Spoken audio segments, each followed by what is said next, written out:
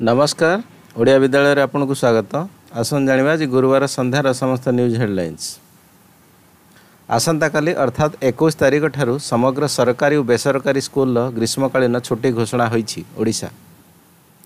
ଉତ୍କଳ ବିଶ୍ୱବିଦ୍ୟାଳୟରେ ବୁଧବାର ରାଷ୍ଟ୍ରୀୟ ମୂଲ୍ୟାୟନ ଓ ଅନୁମୋଦନ ପରିଷଦ ୟାନି ନାକ୍ ଟିମ୍ ପହଞ୍ଚିଛନ୍ତି।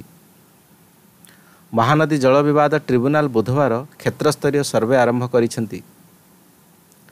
ଅନୁସୂଚିତ ଜାତି ଓ ଜନଜାତି ଛାତ୍ରଛାତ୍ରୀଙ୍କ ଷ୍ଟାଇପେଣ୍ଡ ବଢ଼ିଲା ଓଡ଼ିଶା। ଚର୍ଚ୍ଚିତ ବ୍ଲାକମେଲର ଅର୍ଚ୍ଚନା ନାଙ୍କ ସ୍ୱାମୀ ଜଗବନ୍ଧୁ ଚାନ୍ଦ ଏକ ବିସ୍ଫୋରକ ବୟାନ ଦେଇଛନ୍ତି। ସବୁ ବଡ଼ବଡ଼ିଆଙ୍କ ପର୍ଦ୍ଦାଫାଶ କରିବା ବୋଲି କହିଛନ୍ତି ଜଗବନ୍ଧୁ।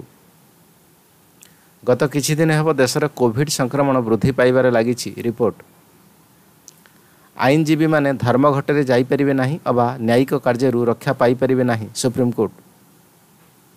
ସମଲିଙ୍ଗୀ ବିବାହ ବିବାହ ପାଇଁ ଦୁଇଟି ଭିନ୍ନ ଲିଙ୍ଗ ହେବା ଜରୁରୀ କି କହିଲେ ସୁପ୍ରିମକୋର୍ଟ ଯୋଗୀ ଆଦିତ୍ୟନାଥଙ୍କ ପରିବାର ସଦସ୍ୟଙ୍କୁ ସୁରକ୍ଷା ବଢ଼ିଲା ଉତ୍ତରପ୍ରଦେଶ।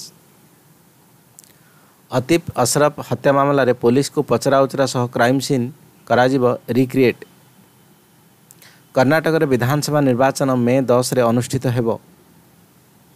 ରାହୁଲ ଗାନ୍ଧୀଙ୍କୁ ଅହଙ୍କାରର ଚାପୁଡ଼ା ମାରିଛନ୍ତି କୋର୍ଟ କହିଲେ ସମ୍ବିତ ପାତ୍ର। ଶରଦ ପାୱାରଙ୍କୁ ଭେଟିଲେ ଗୌତମ ଅଦାନୀ ରାଜନୈତିକ ମହଲରେ ହଲଚଲ। ପଚିଶରେ କେରଳର ପ୍ରଥମ ବନ୍ଦେ ଭାରତ ଏକ୍ସପ୍ରେସ୍ ଶୁଭାରମ୍ଭ କରିବେ ପ୍ରଧାନମନ୍ତ୍ରୀ ମୋଦି। ଭାରତରେ ଅଠର ବର୍ଷ ହେବା ପୂର୍ବରୁ ତେଇଶ ପ୍ରତିଶତ ନାବାଳିକାଙ୍କର ହେଉଛି ବିବାହ ଜାତିସଂଘ ରିପୋର୍ଟ। ପୁଞ୍ଚ ଜମ୍ମୁ ହାଇୱେରେ ସେନା ଗାଡ଼ିରେ ଲାଗିଲା ନିଆଁ ଅନେକ ଯବାନ ଫସି ରହିଥିବା ଆଶଙ୍କା। ମେ ଚାରିରେ ଭାରତ ଆସିବେ ପାକିସ୍ତାନ ବୈଦେଶିକ ମନ୍ତ୍ରୀ। ପ୍ରଥମ ଥର ପାଇଁ ୟୁକ୍ରେନ୍ରେ ପହଞ୍ଚିଲେ ନାଟୋ ମୁଖ୍ୟ ପାରା ବ୍ୟାଡମିଣ୍ଟନ ବିଶ୍ୱରେ ପ୍ରଥମ ସ୍ଥାନରେ ପ୍ରମୋଦ ଓ ସୁକାନ୍ତ।